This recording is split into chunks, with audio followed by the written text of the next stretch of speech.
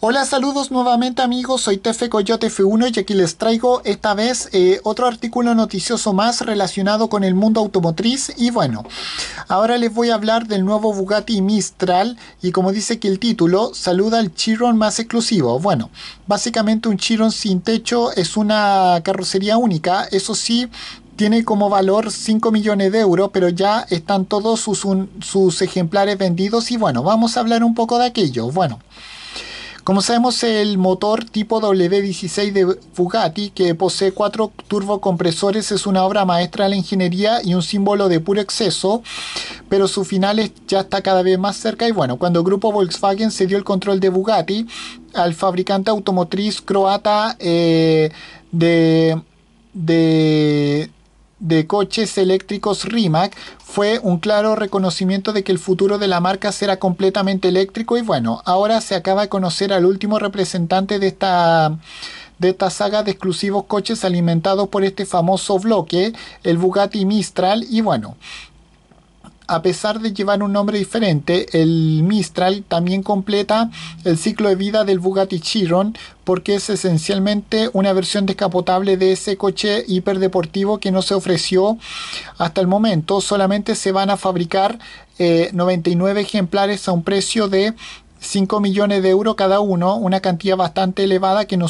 supuso ningún tipo de impedimento eh, como para como para que cada una de las unidades ya estén agotadas. Por cierto, las primeras entregas están programadas para el año 2024 y bueno. Aunque está estrechamente relacionado con el modelo Chiron, el Mistral es mucho más que un lavado de cara. El equipo diseño le dio una nueva parte frontal radical que evoca el lenguaje eh, de diseño de depredador iniciado por dos versiones ultramente ultra ultra limitadas eh, anteriores, el, el, Bugatti Divo y el Bugatti La Voiture Noire. Eh, el Mistral no es una belleza natural con luces montadas en los pasos ruedas y la característica parrilla con forma herradura al final de un morro alargado. Todavía así posee más presencia en la, en la ruta que una carroza de desfile y bueno, el parabrisas recortado de este modelo se curva como una visera y se adapta a los paneles laterales poco profundos. No se muestra un techo en ninguna de las imágenes oficiales, pero, es, pero Bugatti le dijo a esta misma página web, o sea, Caran Driver España, que este coche se va a ofrecer con un panel de clip temporal en vez de una capota completa.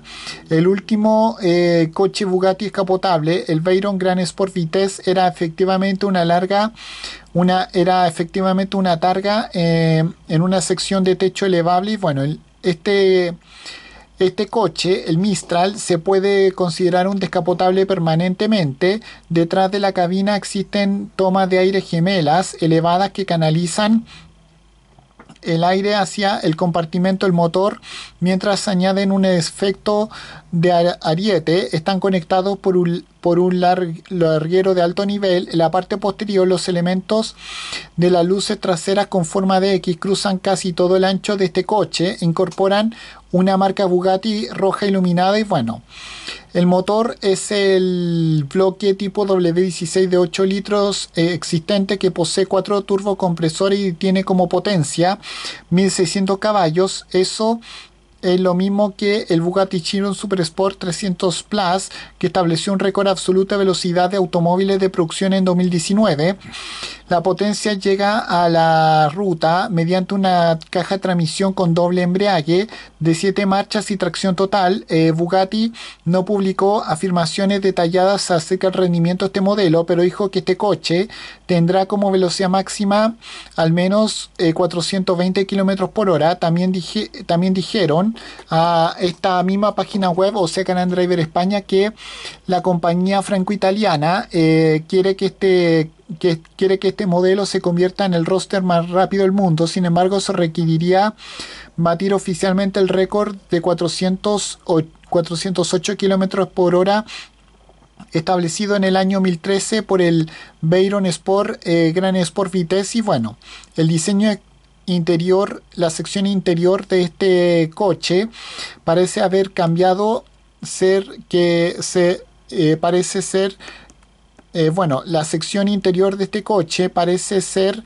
lo que menos cambió con respecto al modelo Chiron, eh, porque comparte el mismo, el mismo cuadro de instrumentos, tablero, volante y consola central. Al menos eso, al menos esto debería convertirlo en lugar en un lugar cómodo para pasar el tiempo, aunque mucho más ventoso en comparación con su versión coupé y bueno y este vehículo que se mostró en el en el en la reciente versión 2022 del, de Pebble Beach eh, lucía un llamativo color un llamativo esquema de color amarillo y negro inspirado en el Type 57 Grand Raid del año 19 del año 1934 igualmente eh, sin techo. Eh, este último la carrocería del poseía la carrocería del carrocero eh, y ahora forma parte de la colección del Museo Luhmann en Holanda y bueno, eh, el W16 eh,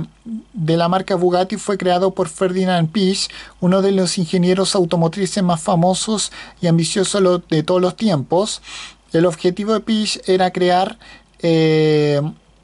era crear lo que se consideraba el motor más potente jamás instalado en un coche de ciudad homologado, lo que eh, lograron tanto el Veyron como el Chiron, eh, con el final de la era de combustión acercándose ya rápidamente, la posición de 6 cilindros en la parte superior parece inexpugnable.